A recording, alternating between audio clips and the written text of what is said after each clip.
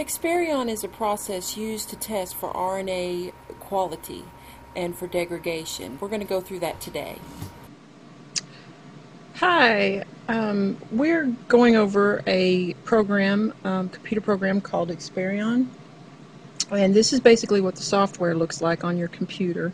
Um, and this is actually what the machine looks like. Um, the main Experion machine. It, has got a little hatch that comes up like that and you can close down. This is um, the priming unit. Okay, you'll need that. And you'll need this too as well, the Experion Vortex station. Um, this is what the Experion chips look like. I want you to get a real good look at that. Um, these chips are labeled, um, and I'll go over those labels with you soon. And this is your cleaner chip. It, it's, it's a little bit different. The first thing you want to do, we're going to go over the Experion um, process. The first thing you want to do is clean your unit. You're going to need this, which is in the electrode cleaner. Um, and you want to pipe at eight, 800 microliters into one of these green chips. One of these uh, looks just like this. And then you want to place it into your unit. And you want to leave that in there for two minutes. Okay? Once that part process is done, you want to um, take this, which is your DEPC water, after the two minutes of the um, cleaner is set on it, and you want to pay, pipette 800 microliters into this chip, place it into the unit and close it, just like you did the last time, and you want to leave that in there for five minutes. Then you want to take that out after five minutes, dump it, completely dump it out, pipette another 800 microliters, put it back into the machine, close it, for two more minutes and then you want to raise the hood like this raise the machine hood leave it sitting up for 60 seconds and then close it okay? And then you're done cleaning your machine. That is the first part of your process. The second part of your process is I would actually go to the computer and put your samples into the computer and then um, it comes with a kit. The kit looks like this. This is the manual, this is the kit. The kit's going to have units in it that have a yellow top, a green top, and a blue top. Okay? The the blue top is your stain, okay, and you want to keep that out of sunlight. You don't want to get any light exposure to that because it can degrade it. Um, the first thing you want to do is make your gel. You have to make your gel and you'll take the green top and you'll pipette 600 microliters into a filter and then you'll run that through your centrifuge okay once that is filtered you want to take 65 microliters into another tube of the filter gel and put one microliter of the stain into that tube and you want to vortex that and mix it mix it well. Um, once you do that, you're ready to prime your chip. I the the the manual will actually tell you to to um, place your samples onto a uh, heating unit of 70 degrees before you prime the chip. I don't want you to do that. I want you to prime the chip first. Um, the reason why is it's just you you don't want to leave your your samples out too long. Um, so take a good look at this chip. This chip has labels on this side. Okay, these GS labels right there. Okay, the one that has the orange box is the one you want to pipette nine microliters of stained gel into nine microliters of stained gel, and then you want to take a look at it, make sure there's no bubbles in there inside of the, uh, the little holes. If, if, you don't see any bubbles, you want to prime the chip. And this is your priming unit. This unit right here. a little hatch that you open just like this. You want to, you, you can actually shut the hatch and then push the small button and um, in front of it and it'll open the hatch right up okay? Once you got it in there you just press start. It'll last for 30 seconds and be completed Once you're done priming the chip, you, you want to take a look at the back of the chip. Before you primed it, um, there were actually lines, little gray lines that showed up. When you prime it, you won't see those lines anymore. You want to check for that. If you do see lines, you want to throw it away and prime it again.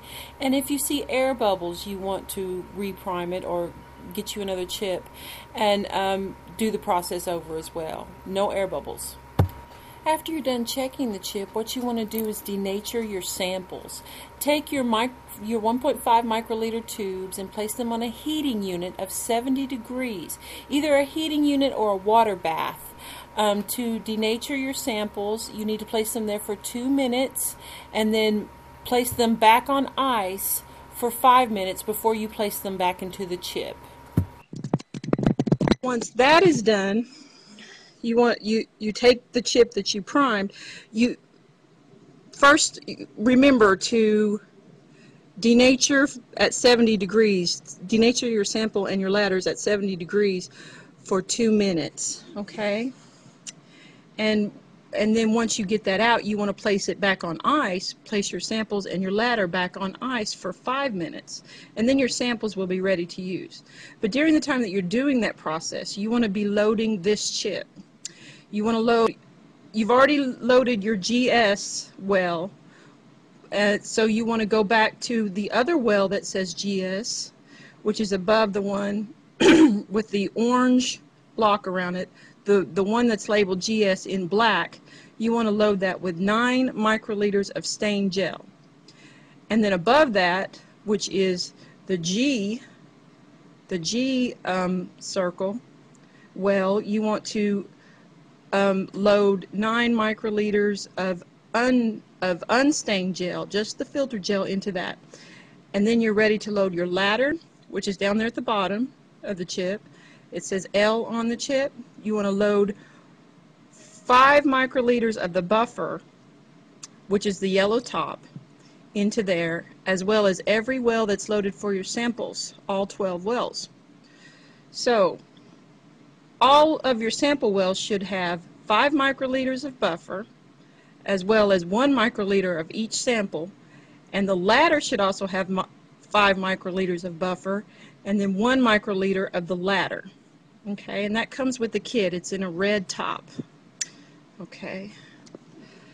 Then once you're done with that once you're done loading your your sample you want to put it into this this unit right here. Let me get you a good shot of that. That is your mixing unit, okay? And that's where you're going to place your chip onto the mixing unit like this until it clicks. Push it back until it clicks and then turn it on.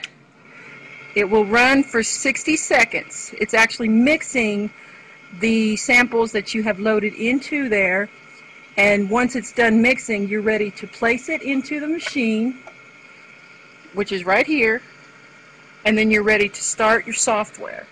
Okay, once you get your unit started, you just hit hit play. It'll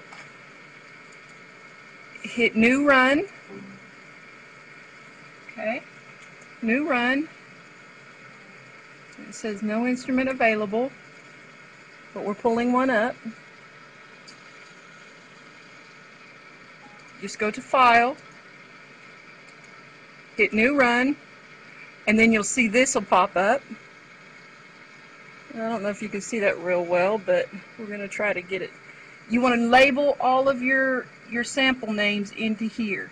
Each unit will let you label whatever you name it. This is done. It'll beep at you. Then you place it into here. You close the unit, and it's ready to go. Just push play.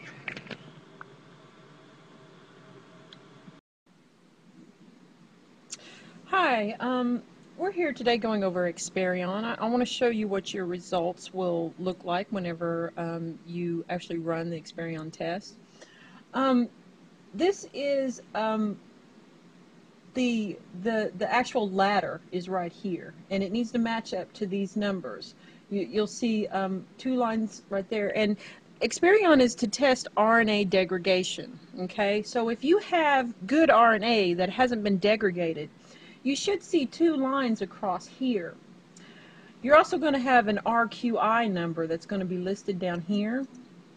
And that here we go. Um, it, whenever you score closer to the mark of 10, your, your RNA is going to be in better shape.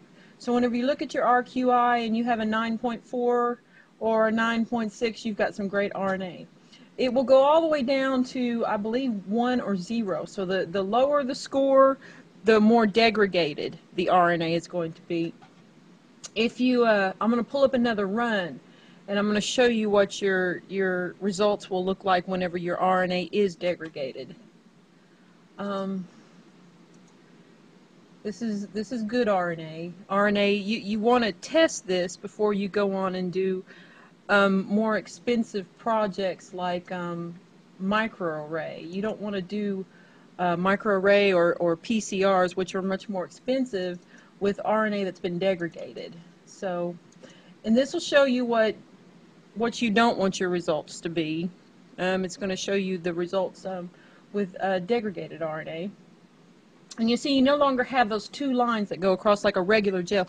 This is actually better to use than, than MOPS and the agarose gels um, because it's, it's, it's easier to understand your results. Um, it's quicker, it's faster, and it's easier.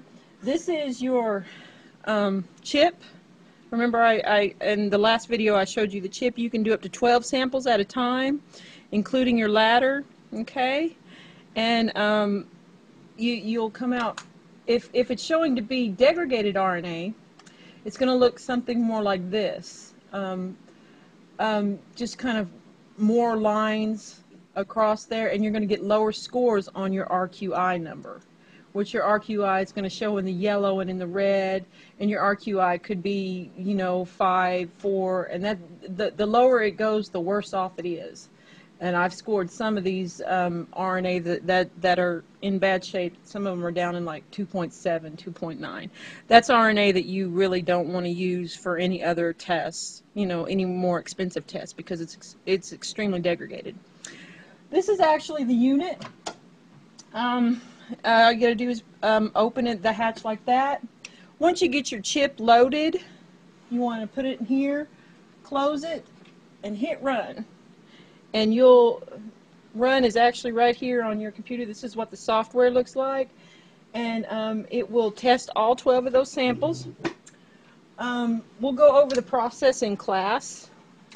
But um, here is also your unit right here. This is for your, this is your priming unit and it opens up like this and you put you have to prime your chip before you put it in okay and then you also have a vortex station once you're done loading your chips you you want to vortex it by using this and it just turns on you you you slip your little chip in here like this turn it on and it'll shake it and mix it mix your your samples after you've got your RNA samples loaded and um, and it'll shut off by itself after one minute.